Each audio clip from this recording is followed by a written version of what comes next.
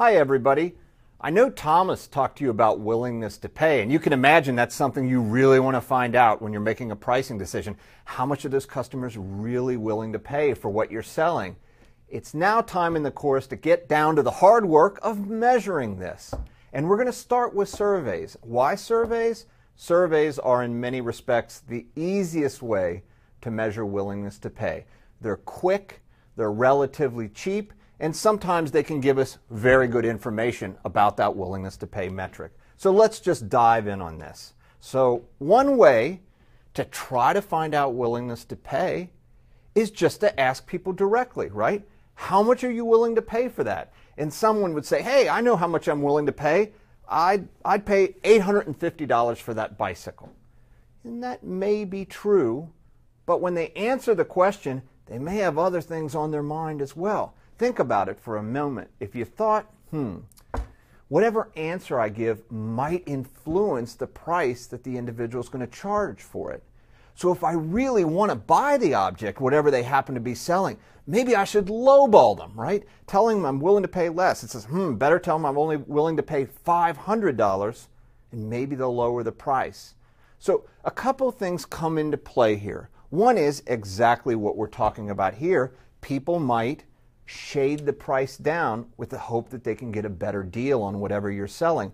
It's also true that sometimes people don't really know exactly how much they'd be willing to pay when you ask them on a survey, and only when they get to the point of making a choice do they really discover to themselves how much they'd be willing to pay for whatever they're looking at. So we're going to we're going to try to make this a little bit better in the survey. We're going to try to get rid of of at least this problem that we're talking about right here.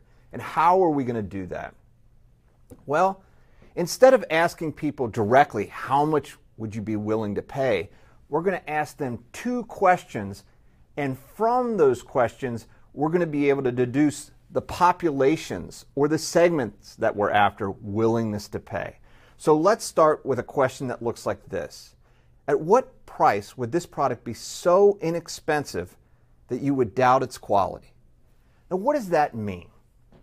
Well, I imagine you've had shopping situations like this in your life, where you go into a store and maybe there's a wool sweater and they're charging $29 for it, and you're thinking, well, $29 for a wool sweater, there is no way that can be a decent wool sweater, right? There's, it must be thin, there's something must be going wrong, it's got to be defective. So there are prices at which for some items, you say, if the number is below that, I doubt its quality so much that I really even I wouldn't consider buying it, even though it looks like a good deal. So you can ask that question of people, and people will give you responses on surveys, and you can build up data that looks like this. Now, what does this data tell you? Well, over here on the left hand side, we have these minimum prices. Okay?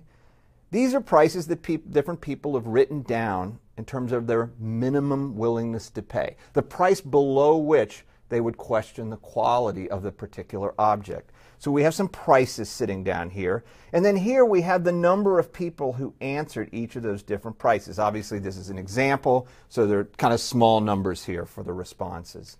And each of these numbers represent a certain percentage of the overall responses, and that's, that's given right over here in this column. And then finally, the interesting column is this cumulative percentage column over here on the right. And what does that mean? It means that if you charged $1 for this item, only 9.1% of your target population would view that as acceptable right? Most people, the vast majority would people say $1 is just too low. The vast majority of people wrote down a larger number as that minimum threshold on their survey. If you get up to here, let's look at $10 on this, and that's about 81.8%. What does that mean? It means for 81.8% of your target population, $10 is an acceptably low price right? That means it might be cheap to them, but it's okay. They wouldn't doubt the quality. And if you get all the way up here to $25, 100% of the target population says, yeah, if I see $25, I'm not going to question the quality. So I hope this is clear to you. This is something that you can, you know, you can grab the PowerPoints and look back at this to make sure the numbers make sense. but that's what this is. These are acceptably low prices. Now, the other side of that coin is what price would this product be so expensive that it wouldn't be worth it? What price is just too high? And I don't care how much I like it, I'm just not going to pay that amount of money. So people write down their maximum prices. And those are given over here in the left hand column. There are those frequencies again and those percentages calculated just like they were before. But let's think about what this cumulative percentage column means over here this time. That means what percent of the population would find that number just too high. If you get $35, it's 45.5% of your target population. If you're up to $55, no one is going to be willing to pay that much. You have 100% of your population. If you're all the way down at $20, it's only 18.2. So if you do some quick math here, you know, 82% of those, just 100 minus 18, would view that as acceptable. So now what we have is how many people think it's too low and how many people think a particular price is too high. And we can combine that information in a way that's really going to help us get at the overall population's willingness to pay.